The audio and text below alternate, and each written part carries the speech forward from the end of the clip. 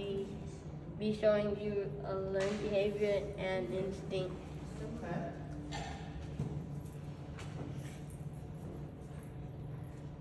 This is an example of a learned behavior. This dog is practicing to ride a skateboard. This is an example of a learned behavior. He is riding his bike and he learned to ride a bike. This is an example of an instinct.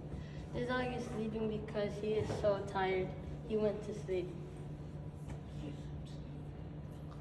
This is an example of an instinct. This bear, this bear is sleeping. He is probably tired from hunting. Great inference. All right, here we go. Here's this video. You want to tell us about it before we play? Um, in this video, um, a guy will be teaching you how to ride a skateboard. Okay.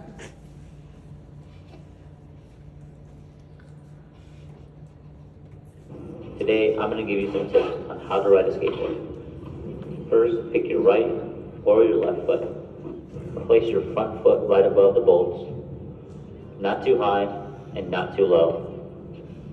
Put your back foot on the board slightly behind the wheels.